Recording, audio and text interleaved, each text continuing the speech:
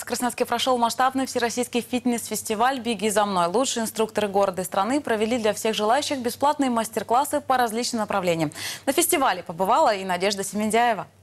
80 регионов России уже подверглись этой массированной фитнес-атаке. Теперь пришла очередь и Красноярского края. На различные спортивные площадки у нас вышли около трех тысяч человек из 25 территорий.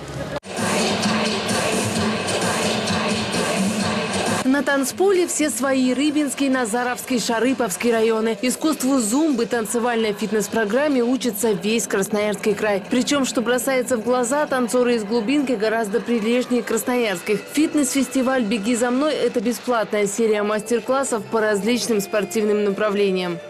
Если брать Ачинск, то я считаю, что нужны, потому что у нас в Ачинске молодежь ну, вообще не активная, они такие как бы пассивные все, все больше бы сидели на месте.